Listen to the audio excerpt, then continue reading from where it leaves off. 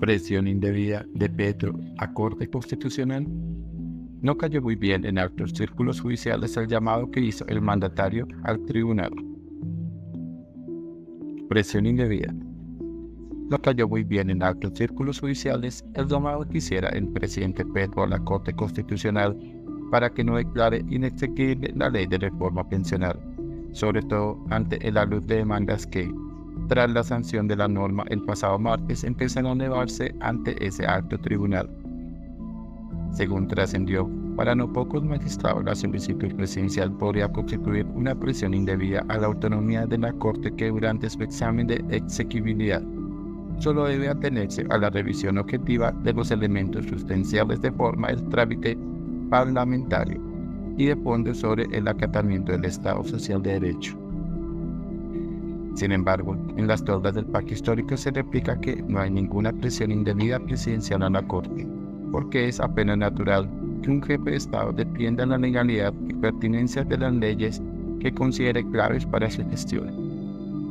Incluso se trajo a colación que varios mandatarios han intervenido en audiencias públicas ante la propia Corte Constitucional en el marco de análisis sobre las normas demandadas.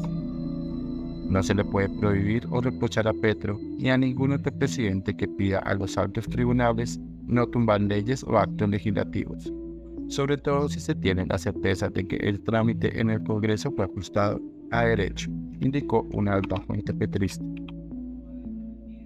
Aplicación asegurada. En altas esferas gubernamentales se considera que formar demandas con la reforma pensional que se presenten ante la Corte Constitucional la entrada a vigencia del nuevo modelo de jubilación en Colombia no tiene reserva.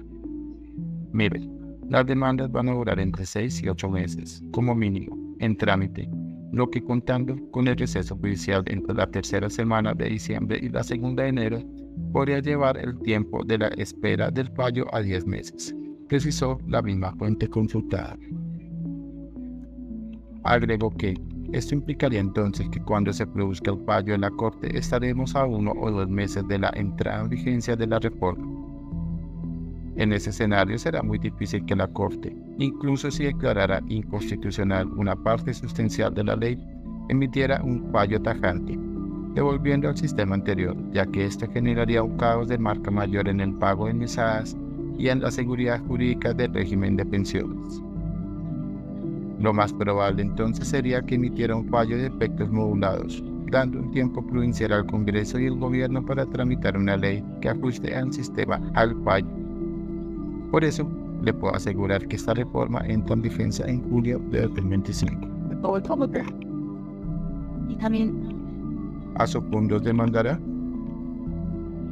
No hay claridad en torno a si fondos que lleva la vocería de los fondos privados de pensiones y cesantías demandará la ley pensional.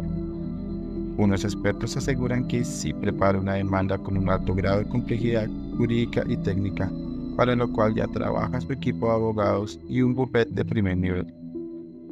Otros conocedores señalan que no demandará directamente, sino que coadyuvará en varias causas y luego hará un sólido concepto propio cuando se cite la respectiva audiencia pública en la Corte.